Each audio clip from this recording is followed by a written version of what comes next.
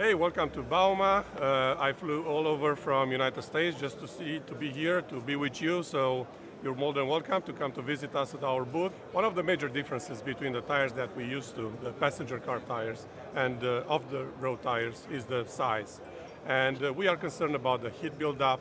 We have a larger uh, rubber mass, especially in the shoulder areas, as you might be able to see it here in the tire behind me. What makes uh, Continental Tire unique is the fact that we have a sensor installed into the tire that comes from the plant.